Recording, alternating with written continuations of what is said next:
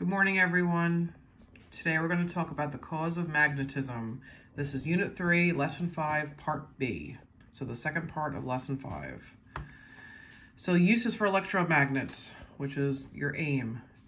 Magnets and devices, lifting heavy objects containing iron, such as cars and trains. So in a scrapyard, when you need to move around old junk cars, you can use electromagnets or trains that no longer function.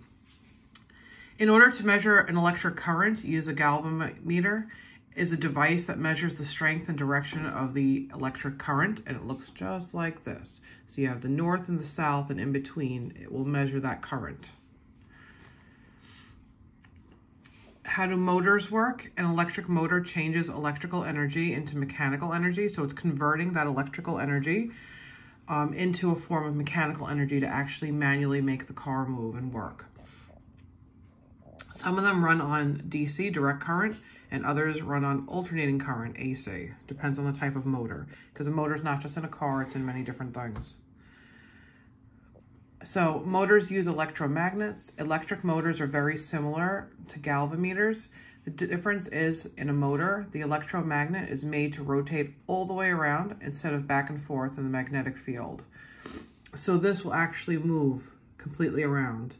A simple motor has a coil or a loop of wire called an armature mounted between the poles of a magnet. So here we have the first coil, the second coil.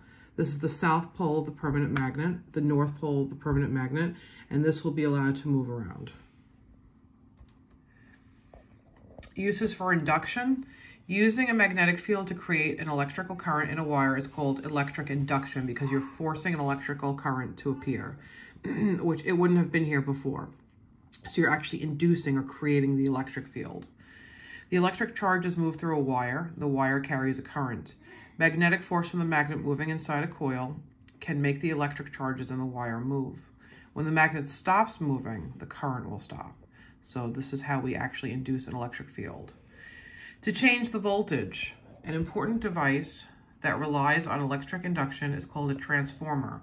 And you see them on top of power lines. In fact, sometimes when they when they die, they explode in a large pop. And you're like, what's that? And all of a sudden your electric goes out. So that's a transformer. Transformers use induction, so you're creating an electric current, to increase or decrease the voltage of an alternating current. Most transformers are iron rings with two coils of wire inside of it. And we use them every day in our electrical wires. If you want to generate electricity, we have electric generators. They use induction to change mechanical energy then into electric energy. So it's kind of the opposite of how a motor works. We're taking mechanical energy and changing it into electric energy. And we use these when the power fails in hospitals, so we can even have them in homes now. They are opposite of electric motors, I just said that. Generators include electric current when a magnet moves in a coil of a wire or when a wire moves between the two poles. So here you have the copper wire. The movement of the copper wire generates the electric, electric field, the electricity. And that's the end of today's notes. Let me know if you have any questions. Bye, guys.